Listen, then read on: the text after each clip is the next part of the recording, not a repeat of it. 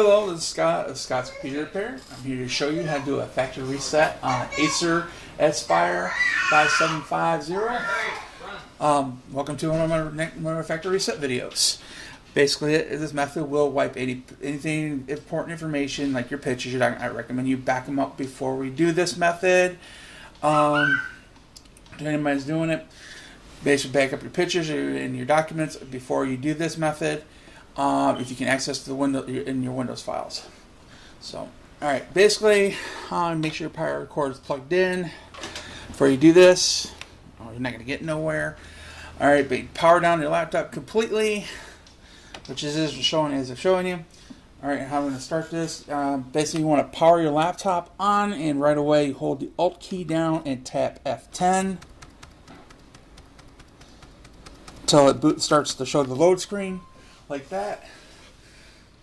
It starts the factory reset.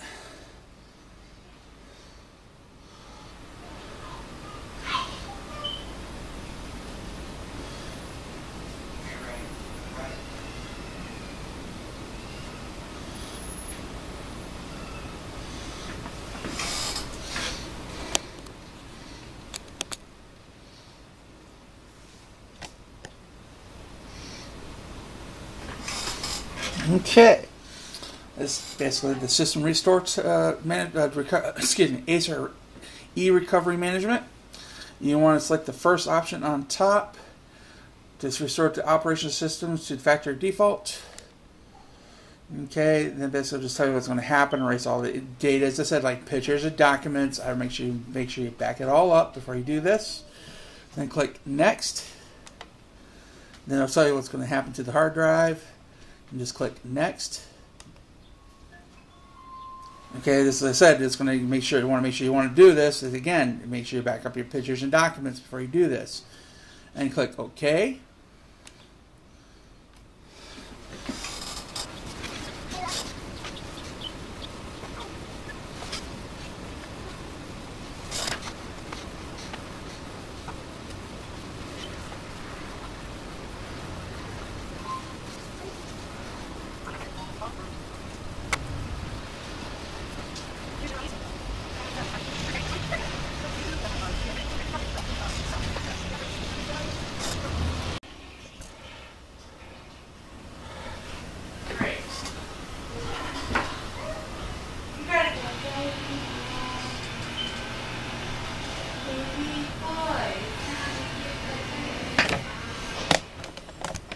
Good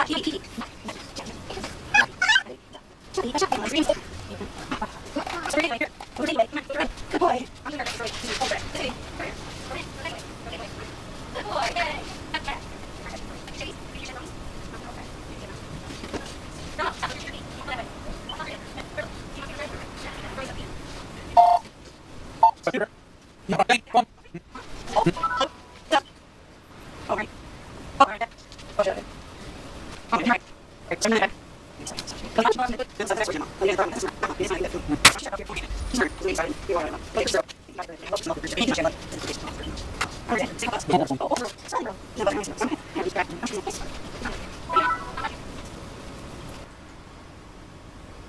I'm making about right now about 20 bucks a month right now off my YouTube.